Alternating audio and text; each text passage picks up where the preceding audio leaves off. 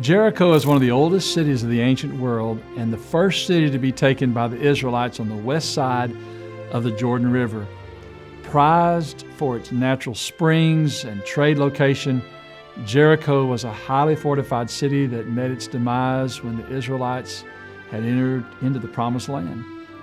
A great battle took place here, with the Bible revealing that the walls fell down flat and the children of Israel marching up into that city and destroying it by fire.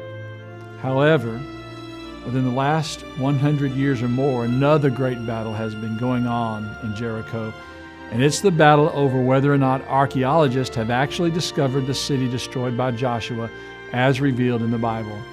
While there's still a lot of debate, the evidence it's compelling and it's fascinating.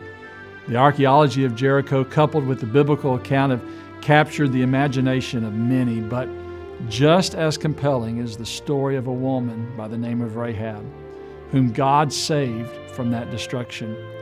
She is a prostitute, but as revealed in James 2, becomes an exemplar of faith.